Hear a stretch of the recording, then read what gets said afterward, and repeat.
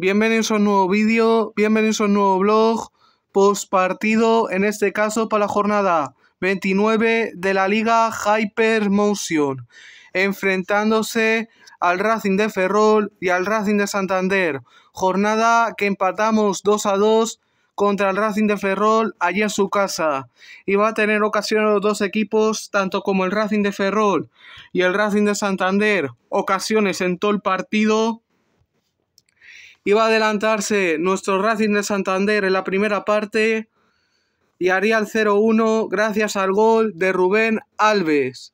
Pero empataría el Racing de Ferrol y haría el 1-1 en el marcador. Se acabaría la primera parte y empezaría la segunda parte que haría el 2 a 1 el Racing de Ferrol.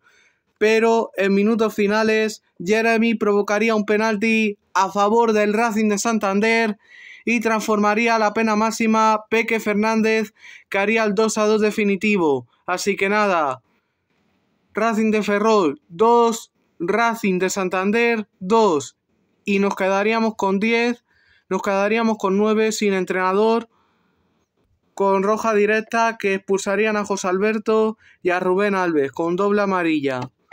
Así que nada, Racing de Ferrol 2, Racing de Santander 2. Suscribiros a mi canal, que la suscripción es totalmente gratis. Seguirme tanto como en TikTok, en Instagram y en Twitter. Soy una Hyper 23. Así que hasta el sábado que viene.